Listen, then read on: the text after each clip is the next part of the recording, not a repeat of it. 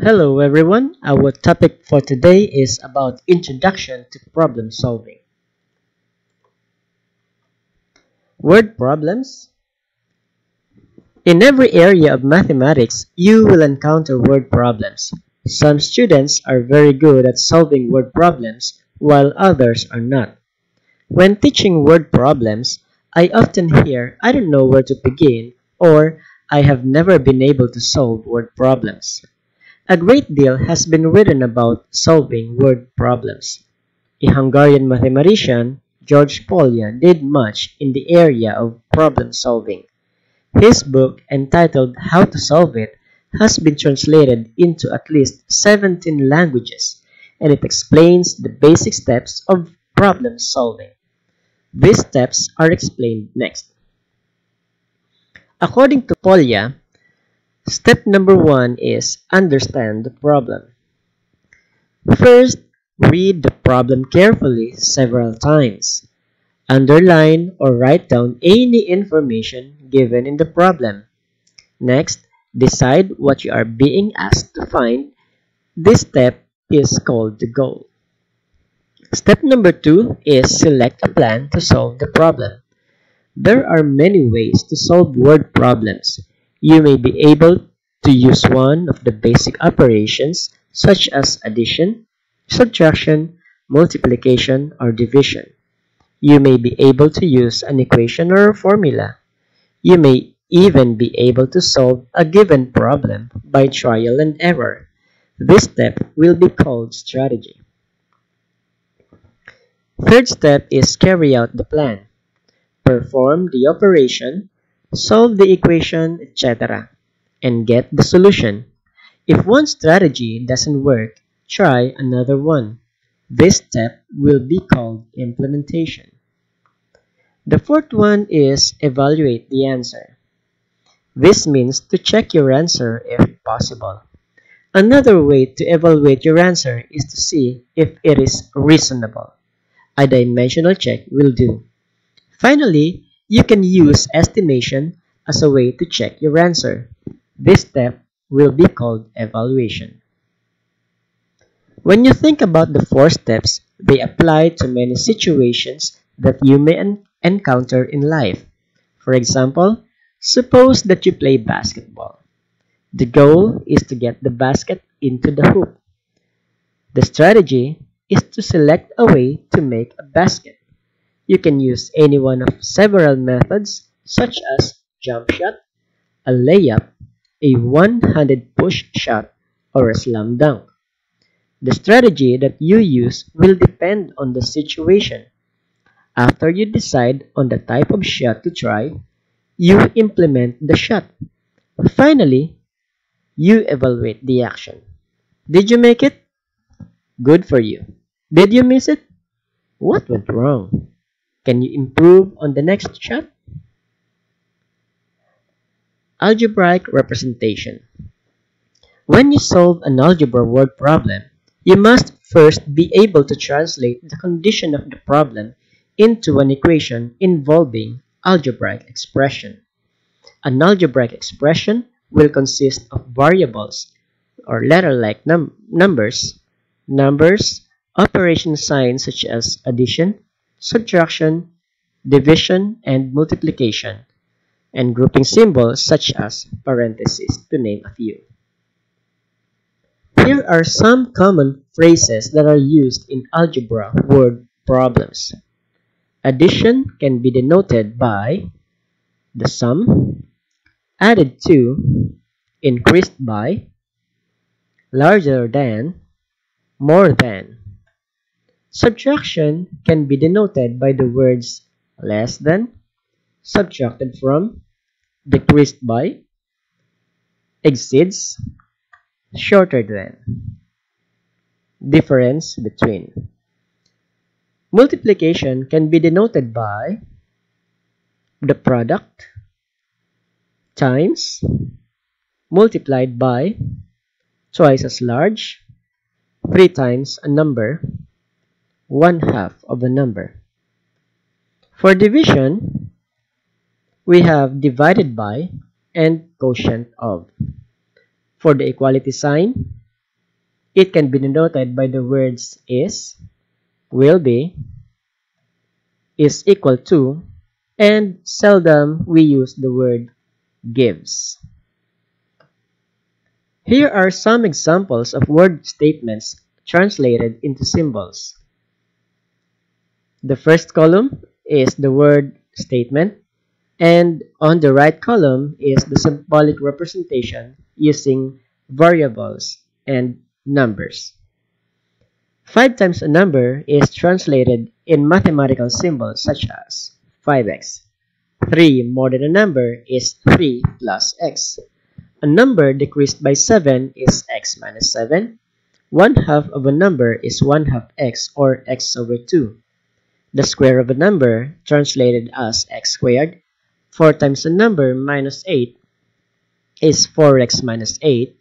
The cost of rope at 15 cents a foot is 0.15x.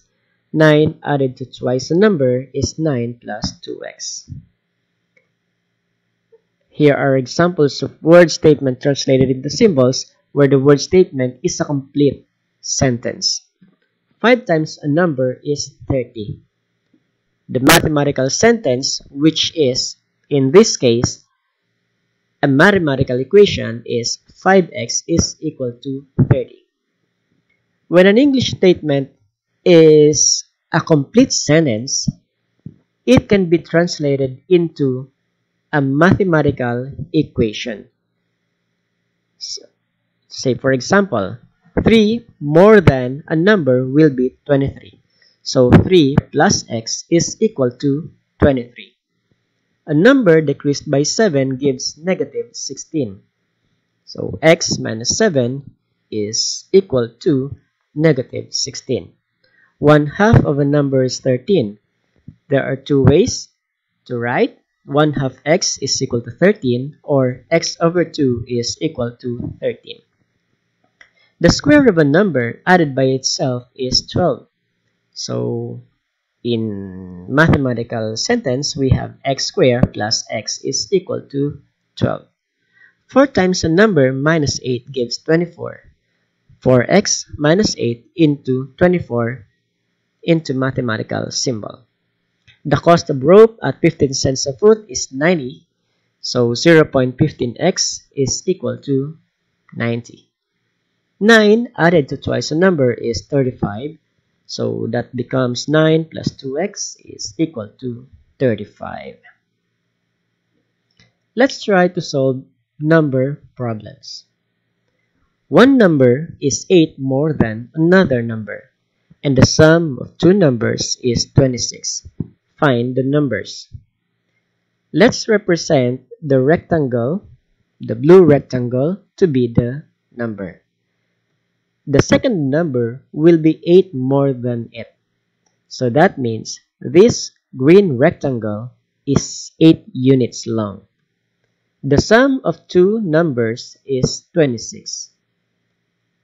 So the blue rectangle plus the blue rectangle plus the green rectangle must sum up to 26. The equation we have is x plus x plus 8 is equal to 26. 2x is equal to 26 minus 8 gives us 2x is equal to 18 x is equal to 9 hence the two numbers are 9 and 17 Next example. Find three consecutive integers whose sum is 63. Let us represent the first integer to be the vertical blue rectangle. The integer after that will be one more than the blue rectangle and two more than the first integer and its sum is equal to 63. The working equation will be x plus x plus 1 plus x plus 2 is equal to 63. Then 3x plus 3 is equal to 63. 3x is equal to 63 minus 3.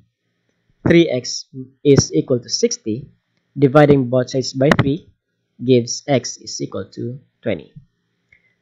Therefore, the three consecutive integers are 20, 21, and 22. Another example. If the sum of two consecutive even integers is 42, find the numbers. Let us try to denote the blue rectangle as the first even integer. Since even integers differ by 2, then the next integer will be the first integer plus 2. And its sum is equal to 42. The working equation will be x plus x plus 2 is equal to 42. 2x plus 2 is 42. 2x is 42 minus 2. 2x is 40. x is equal to 20. The two consecutive even integers are 20 and 22.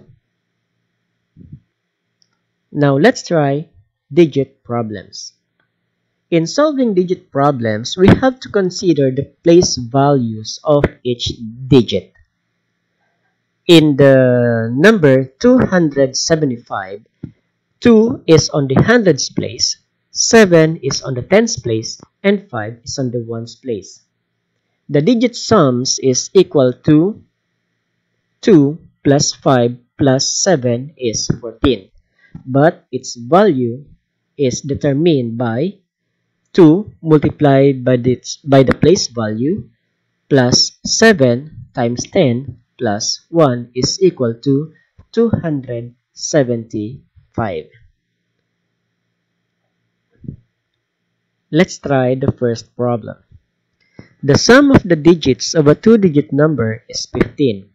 If the digits are reversed, the new number is 9 more than the original number. Find the two-digit number. Okay, let us use the table for the original and reversed digit. We have tens place and ones place. On the tens place, let us put x.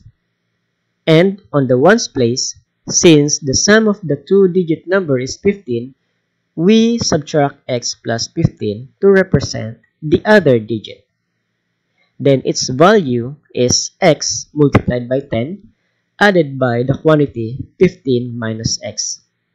The reversed order will be 15 minus x on the tens place and x on the ones place. The value of the reverse digit is 10 multiplied by 15 minus x plus x. The working equation will be, from the problem, we have the condition, the new number is 9 more than the original. Hence, the new number 15 minus x multiplied by 10 added by x times 1 is equal to 9 plus the original which is 10x plus the quantity 15 minus x. Simplifying, 150 minus 10x plus x is equal to 9 plus 10x plus 15 minus x. Collecting similar terms, negative 9x plus 150 is equal to 9x plus 24. Negative 9x minus 9x is equal to 24 minus 150. Combine similar terms, negative 18x is equal to negative 126. Dividing both sides by negative 18 gives x is equal to 7.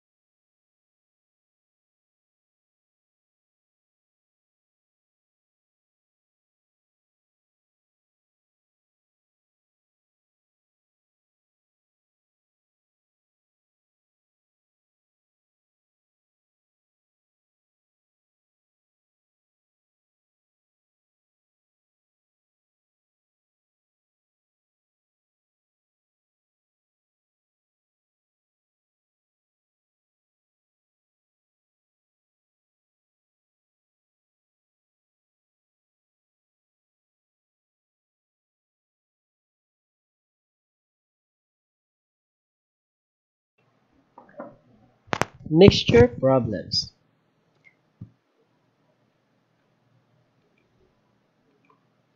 Imagine mixing two um, different liquids with uh, different concentration. We will obtain the third mixture, which is a combination of these two. And remember that the amount of pure is equal to the product of the amount times the percentage. So we have to set up the table for mixture 1, mixture 2, and the obtained mixture 3 such that the amount, percent, and the amount pure are given in columns. For example, a pharmacist has two bottles of alcohol. One bottle contains a 10% solution of alcohol and the other bottle contains a 5% solution of alcohol. How much of each should be mixed to get 20 ounces of a solution which is 8% alcohol? The first bottle contains 10% solution added to the second bottle which has 5% solution and obtained the third mixture which is 8% alcohol. So the table shows for a mixture of 10%, we denote the an, an amount X. Since we need 20 ounces, the 5% solution should have 20 minus X as an amount. So the percent given, that's 10% for 10% solution and 0.05 or 5% solution. The amount of pure is obtained by multiplying amount and its percent. So here we have 0.10x, 0.05 times 20 minus x, 0.08 times 20. The equation that we need to solve is 0.10x plus 0.05 times 20 minus x is equal to 0.08 times 20 because when we add the amount of pure from the 10% solution added with the amount of pure in the 5% solution is equal to the amount of pure in the 8% solution. 10x plus 5 multiplied by 20 minus x is equal to 8 times 20 by multiplying the first equation with 100 to uh, get rid of the decimal. Then we have 10x plus 5 plus 100 minus 5x is equal to 160. 5x plus 100 is equal to 160.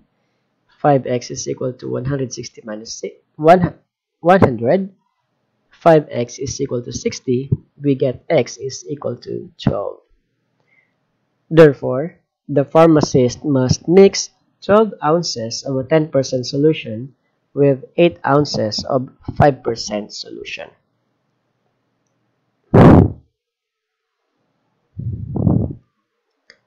Second problem, a craftsperson has two alloys of silver. The first one is 70% pure silver and the second one is 50% silver. How many ounces of each must be mixed to have 12 ounces of an alloy which is 65% silver? Okay, for the table, we have the mixture, amount, percent, and the amount of pure. For 70% pure mixture, we denote it with an amount x. And for the 50% pure, we denote it with 12 minus x. Alright? And then the, um, the total amount of pure for each solution is obtained by multiplying the amount with its percentage. So therefore, for 70% pure, we have 0.70x.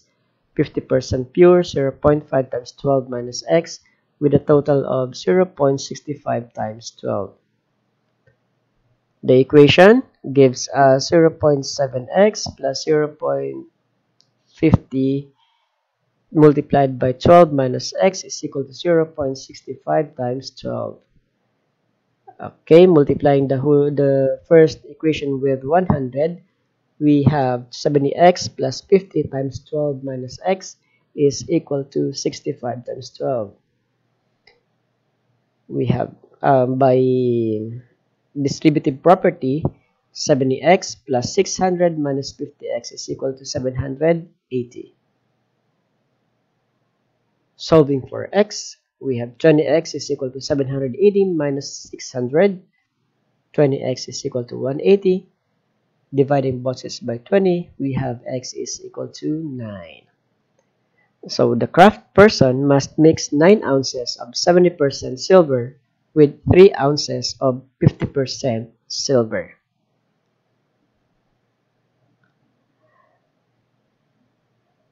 Another type is mixing coffee with, that cost different uh, amount.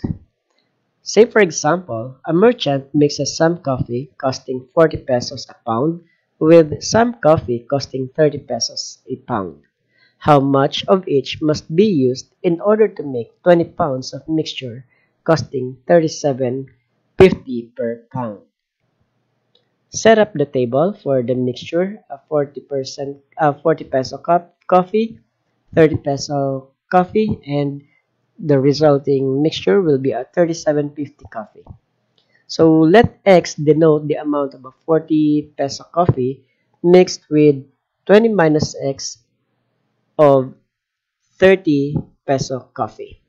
So the cost for is of course 40 and 30 respectively. So the value will be the product of the amount and cost. x multiplied by 40 is 40x. 20 minus x multiplied by 30 is 30 times 20 minus x. And the total value for the mixture will be 20 pounds multiplied by 37.50. Okay, we have now the equation 40x added by 30 multiplied by 20 minus x is equal to 37.5 multiplied by 20. Okay, so 40x plus 600 minus 30x is equal to 720. Solving for x, we have 10x is equal to 720 minus 600. 10x is 120 and x is equal to 12. Therefore, the merchant must mix 12 pounds of 40 peso coffee with 8 pounds of 30 peso coffee. Next, we have solving finance problem or investment problem. A person has 5,000 to invest and decides to invest part of it at 4% and the rest of it at 6.5%. If the total interest for the year from the amounts is 245, how much does the person have invested at each rate? We have to set up the table for the first column, investment, principal, rate, and then the interest. We use time is equal to 1 because the duration of the investment is 1 year. For investment A, we denote it with the variable x. And since 5,000 is the total amount to be invested and a portion of it was already invested at A, then for investment B, we will only have 5,000 minus X as a principal. Now, for investment A, it has a rate of 4%. In investment B, we have 6.5%. And in decimal, we have 0.065 as its value. Now, the total interest earned from the two investment is equal to 245, meaning we need to add the investment, uh, the interest earned from investment A with the interest earned from investment B to get 245. So, 0.04x added by 0.65 multiplied by 5000 minus x is equal to 245. We multiplied the whole equation with 1000 to clear the decimal here. So we have 40x added by 65 multiplied by 5000 minus x is equal to 245,000.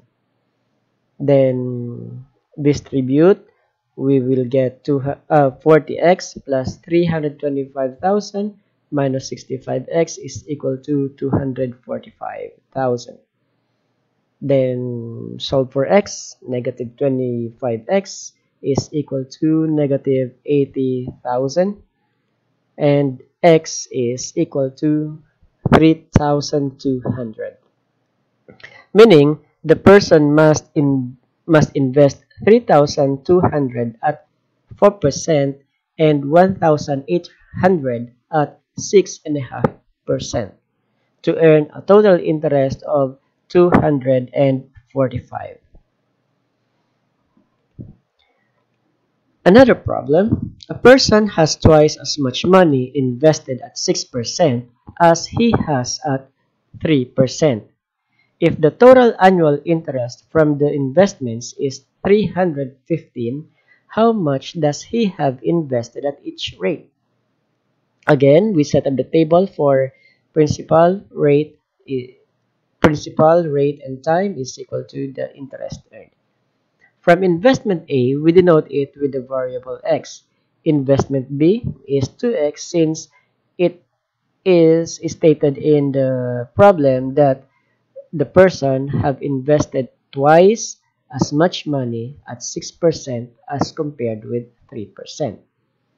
Therefore, the interest earned from investment A is obtained by multiplying the principal and the rate, so 0.03x while the interest earned from investment B is 0.06 multiplied by 2x with a total of 315.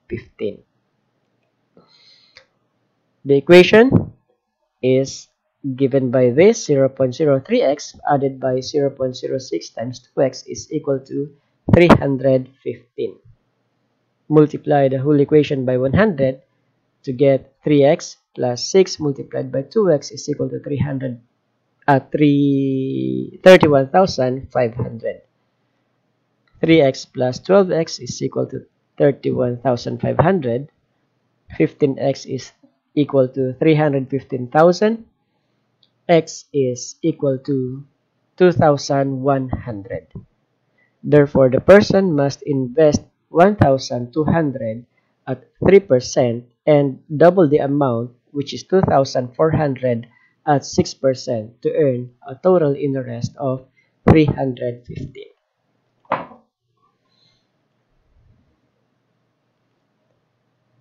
An investor has three times as much money invested at 5% as he has invested at 2% and 600 pesos more invested at 3% than he has invested at 2%.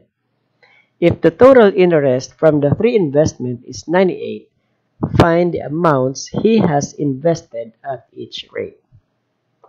Okay, the table shows the three investments A, B, and C.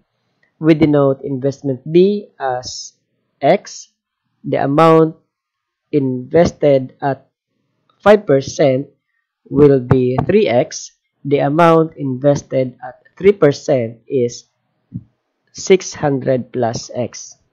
The interest earned from investment A is 0.05 times 3x. From um, investment B, 0.02x. And investment C is 0.03 times x plus 600. With a total, since the interest earned from the three investments a, B, and C has a total of 98, we obtain the equation 0.05 multiplied by 3x plus 0.02 multiplied by x plus 0.03 multiplied by x plus 600 is equal to 98. Multiplying this with 100, we will get 5 times 3x plus 2x plus 3 multiplied by x plus 600 is equal to 9,800. Simplifying to get 15x plus 2x plus 3 multiplied by x plus 600 is equal to 9,800. And that is further simplified to 20x equal to 8,000. giving us x is 400. Thus, the person must invest 400 at 2% and 1,200 at 5% and 1,000 at 3% to earn a total interest of 98 pesos. Let's proceed with lever problems. A lever is governed by the law that W sub 1 or weight sub 1 times distance sub 1 is equal to weight sub 2 times distance sub 2.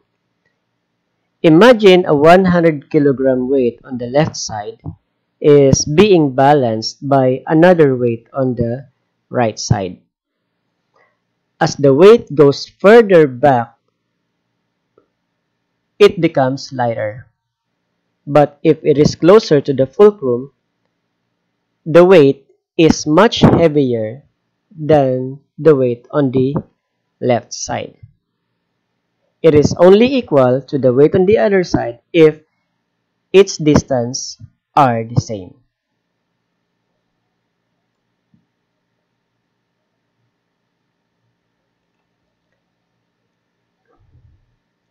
Let's proceed with an example. Bill weighs 120 pounds and sits on a seesaw 3 feet from the fulcrum.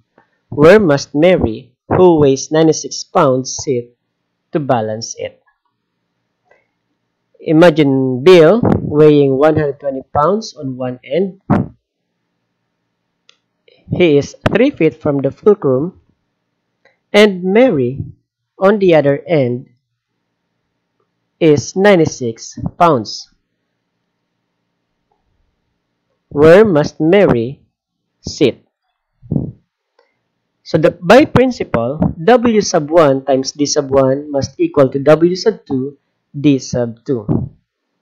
So Bill is 3 feet from the fulcrum and weighs 120 pounds. So 120 multiplied by 3 is equal to 96 multiplied by x. 360 is equal to 96x dividing both sides by 96, we get x is equal to 3.75. Therefore, Mary must sit 3.75 feet from the fulcrum. In the second example, the fulcrum of a lever is 3 feet from the end of a 10-foot lever. On the short end rests an 84-pound weight how much weight must be placed on the other on the other end to balance the lever. By principle, W sub 1 times D sub 1 is equal to W sub 2 D sub 2. 84 multiplied by 3 is equal to x multiplied by 7 where x is the weight to be put on the other end. 252 is equal to 7x.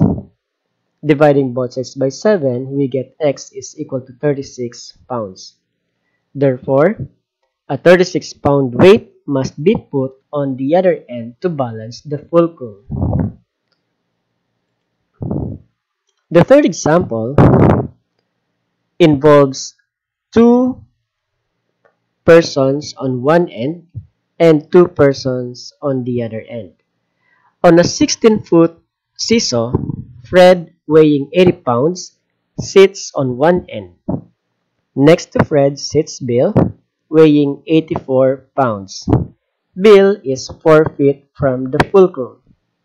On the other side, at one at the end sits Pete, weighing 95 pounds. Where should Sam, weighing 75 pounds, sit in order to balance the seesaw. Okay.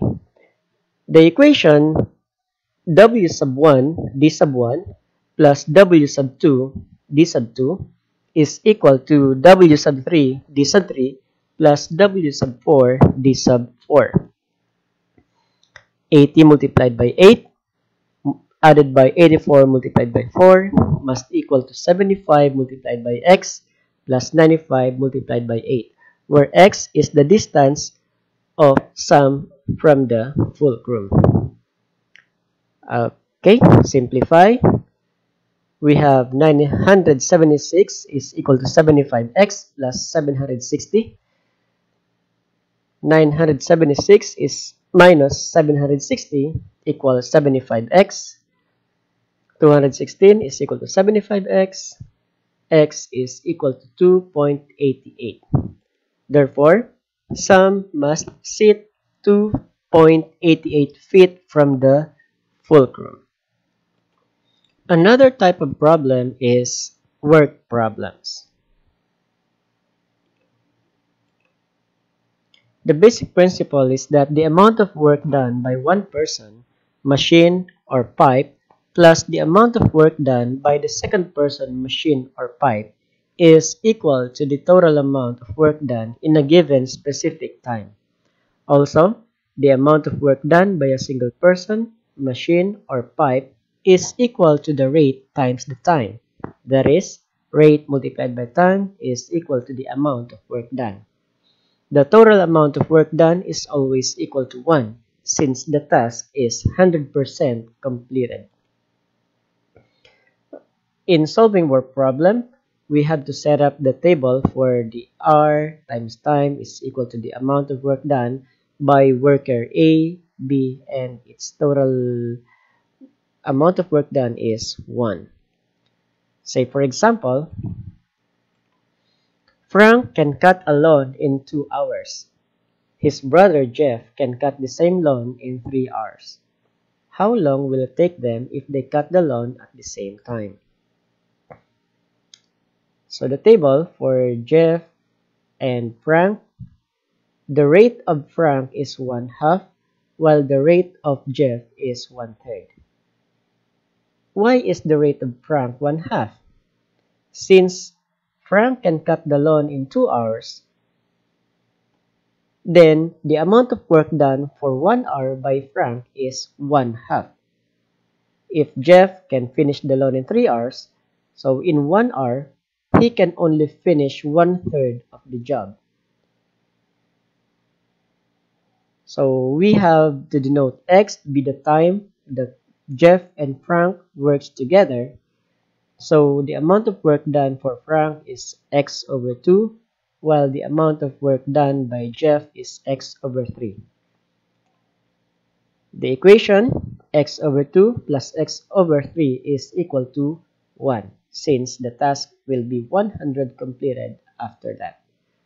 Multiply the whole equation by the GCD to get 3x plus 2x is equal to 6. Then 5x is equal to 6. x is equal to 6 over 5 or 1.2 hours. 1.2 hours in converted into minutes is equal to 72 minutes. Therefore, we have 1 hour and 12 minutes. So, Frank and Jeff can cut the lawn in 1 hour and 12 minutes working together. In the next problem, one pipe can fill a large tank in 5 hours and a bigger pipe can fill the same tank in 3 hours. How long will it take both pipes to fill the tank if they are turned on at the same time? Pipe A has a rate of 1 fifth because it will take 5 hours to fill the tank. Pipe B has a rate of 1 third because it can fill the same tank in 3 hours. The time for the two pipes working together will be denoted as x. The amount of work done for each is x over 5 and x over 3. The equation x over 5 plus x over 3 is equal to 1. Multiplying the whole equation with the GCD, we will get 3x plus 5x is equal to 15. Then 8x is equal to 15. Dividing both sides by x uh, by 8, we have 1.875 hours. Converting that into minutes, we will have 112.5 minutes or 1 hour, 52 minutes, and 30 seconds.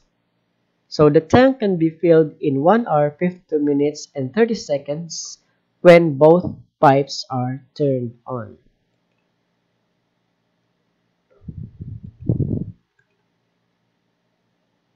A person can clean a small office building in 8 hours, and her assistant can clean the same building in 2 hours.